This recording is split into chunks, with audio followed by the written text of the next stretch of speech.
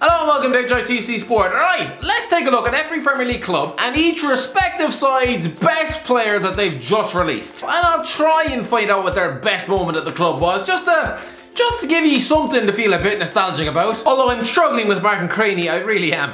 Arsenal, Danny Welbeck. I mean, technically Aaron Ramsey has also been released, but I'm not going to include him because the man isn't exactly getting tossed out on the goddamn scrap heap and being forced to hand out job applications down his local Pizza Hut. Ashley Williams, that is your future. Instead, I'm going to go for Danny Welbeck. Finally shown the door after breaking down more times than an X Factor contestant. The man is still only 28. Anyway, what was his best moment? Probably scoring the winner at Old Trafford in March 2015, effectively shoving two fingers up at Louis van Gaal for effectively ruining his life. Aston Villa, Uh, Alan Hutton. It feels like Alan Hutton has been at Aston Villa since the dawn of time. They signed him in 2011 and if you told Villa fans then that they wouldn't be getting rid of him for another seven years, they'd probably have jumped off a bridge. He's had his ups and downs at Villa Park, but he did have a resurgence, and last season scored a goal that Leo Messi would have been proud of in that 4-2 win over Birmingham City. Anyway, they've also released the likes of Glenn Whelan, Mile Jedinak, Albert Adomah, and Michael Richards. Yes, that man was still there. What has he been doing for the last three years? Play, sitting in his room playing Fortnite? Bournemouth, Marc Pugh. No, not Marc Pugh. Anyone but Marc Pugh. To be fair, I, I shouldn't slag him too much. Yes, he might not be Premier League quality anymore. That is what being a 32-year-old winger does to you. But he signed for Bournemouth back in June 2010, when they were just a newly promoted League One club. So, fair play to you. Anyway, best moment, alright. In October 2014, he scored that first hat-trick of his career in a 8-0 win over Birmingham City. 8-0. Not Shrewsbury Town, not Oldham, not even against a bunch of lads swilling pints down the local pub. Birmingham City. Three years after they beat Arsenal in the Carling Cup final. Losing 8-0 at home. Like, what? Does someone want to explain that one to me, please? Brighton Bruno. No, not the movie where I was forced to endure Borat's schlong being swung on my face like a goddamn helicopter. Why did I bring my mother to that movie? No, instead it's that bald right back who's retiring after seven years at the club. His best moment, uh, being named in the 16-17 championship team of the season for the second year running as the Seagulls earn promotion. Burnley Stephen Ward. Burnley have had a bit of a clear out this week. Actually, not so much of a clear out, more of a goddamn extermination. 13 players have been shown the door at Turf Moor, including the likes of Johnny Walters, who's retired, Anders Lindegaard, who's just shit, and one Peter Crouch. I'm sorry, but I could never take that signing seriously. You're stuck in a relegation battle, and your solution is to sign a 9 foot ladder from Stoke. The man was nearly 40 years old for Christ's sake. I'll go for Ward because, you know, let's not forget he's played at two European Championships and he'll probably end up at Shamrock Rovers on a free transfer. His best moment, ah, playing 28 times for the Clarets as they finished 7th I guess. Chelsea Gary Cahill. A few have been let go this week, like youngsters Todd Kane and Martell Taylor Crossdale, as well as Rob Green, a man practically old enough to be their fucking dad, and whose very existence at Chelsea looked weird as f but former captain Gary Cahill is also on the release list. Yes, the man may be 33 years old and no longer is able to defend to save his life, but 290 appearances, two league titles, two FA Cups, a League Cup, two Europa Leagues and a Champions League. That's a CV that would nearly rival John Terry's. The man has proved an outstanding signing for Bolton. Crystal Palace, Bakary Sako. At Crystal Palace, they've finally kicked out the likes of Jason Puncheon and Julian Speroni, a man who I've always said just looks like he sleeps at the training ground. Also a special mention to Papa Souaré though, who's being let go after, you know, never really recovering from that car crash three years ago. And no, I'm not referring to Alan Pardew's last six months. We've already been here with Palace and Sako last year, only for them to re-sign him in January. That's, um, that's probably not to happen this time. His best moment was probably scoring one and setting up the other in a 2-1 win at Stamford Bridge in August 2015, which was Jose Mourinho's second ever league defeat at the stadium just the 11 years after signing his first contract at the club. That was such a weird stat. Everton Phil Jagielka. Who thought when Phil Jagielka swapped Sheffield United for Everton back in January 2007 that he'd end up spending 12 years at Goodison Park, making nearly 400 appearances and end up playing 40 times for his country. I mean, there's been too many highlights to count for this man. A winning penalty against Man United in the FA Cup semi-final, a last minute thunderbolt at Anfield, even recently the headed winner against Arsenal. I mean, build that man a goddamn statue. And not so much uh, Ashley Williams, uh, build him a catapult, just to make sure he never sets foot in Liverpool ever fucking again. Christ above that man should be locked up for crimes against offending. And of course an attempted murder charge for trying to kick a ball off Robin Van Persie's head.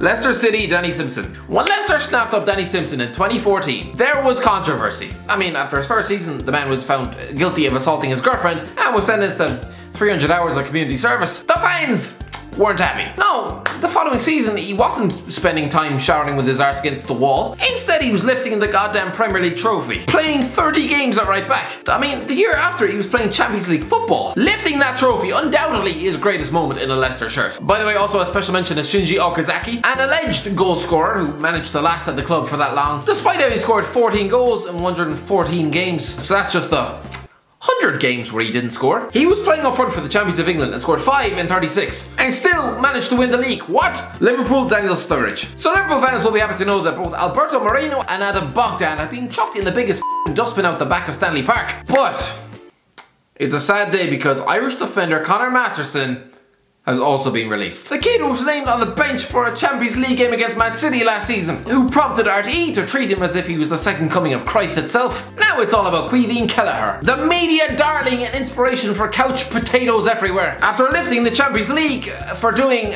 pretty much all. I mean, this just shows where we are as a nation. 15 years ago, we were interviewing Roy Keane and Damien Duff after after playing in Champions League games. Now we're demanding airtime with the work experience kids who managed to spend 90 minutes sitting beside Adam and Lallana and praying to shite that they weren't asked to come on. Anyway, Daniel Sturridge has also been released. Let's be real, the writing was on the wall when he couldn't get past Hal Robson Kanu and the West Brom team. Back in 2014 though, when he was scoring 20 plus goals a season, netting at World Cups, did anyone think that within five years, this is how it would all end? You'd end up a broken dishwasher of a man chucked on the goddamn scrap heap? I mean, his best moment was probably scoring the only goal against Man United on his 24th birthday to keep Liverpool top of the league in September 2013. Man City, Vincent Kompany. I mean, what can we say about Vincent Kompany? 11 years, 360 appearances and 4 league titles. Considering the man has started his City career playing in the midfield too with Stephen Ireland, the fella who uses uh, fictional deaths of his relatives uh, to pull a sickie, he's come a long way. Anyway, he's off to Anderlecht now as player manager with multiple highlights from the Manchester era. I'll go for that winning Thunderbolt strike against Leicester City, but don't forget about that winning goal against Man United in April 2012 either. I mean, without either of those goals,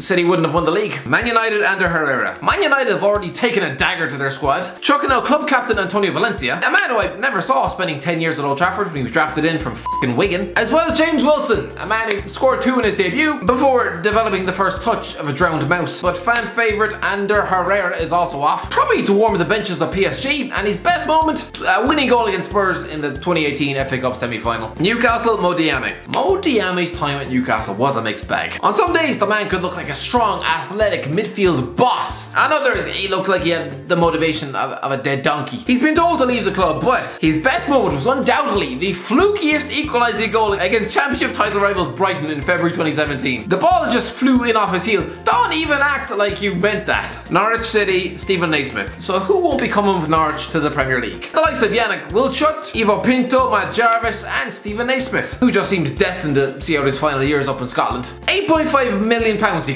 What a waste! But his highlight was probably his first game. You know, he did score in his debut against Liverpool back in January 2016. They still lost 5-4. Sheffield United, Martin Cranie. So Chris Wilder thinks he can survive in the Premier League without good old Martin Cranie, does he? I mean, good logic to be fair. Considering that man has amassed 9 Premier League appearances, spending 16 years at 3 separate clubs. His best moment?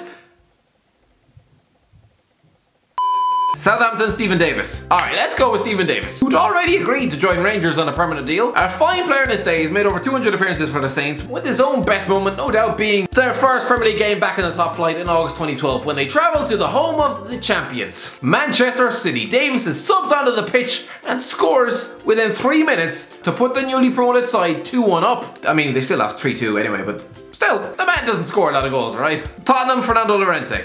Okay, this one is confusing. Earth to Fernando Llorente. Do you still have a job? Because this man's name was chucked on the release list at Spurs, without so much as a thank you, next to the likes of Thomas Glover and Connor fucking Ogilvie. And where is the respect for a lad who dutifully sat on his arse for two years, no doubt praying to Christ that Harry Kane pulls a fucking hammy? If he has left, or like, release a statement. But no, nothing, leading to a speculation that maybe the man still has three weeks left on his contract and won't actually be getting sacked off, especially considering he's pretty much the only other striker at the club. But no, as it stands, I currently have no idea if Fernando Llorente is employed or if he's now gonna just join the rest of us and set up a fucking YouTube channel. But hey, I think we know the man's best moment. That VAR-defining goal at the Etihad that went in off his left arse cheek that ended up sending Spurs through to the Champions League semi-finals. Watford Heurelho Gomes. Okay, so Heurelho Gomes is 95% retiring. But either way, the man won't be at Watford next season, which is quite sad considering his last game where he was lucky not to concede more than six in a Cup final. His best moment, uh, probably the semi-final win over Wolves. Although to be honest, considering what happened at Wembley three weeks later, he probably wishes he hadn't even bothered. West Ham Andy Carroll. Remember when Andy Carroll was held up as the next Alan Shearer, only to be sold for 35 million pounds. Back when 35 million was actually decent money as opposed to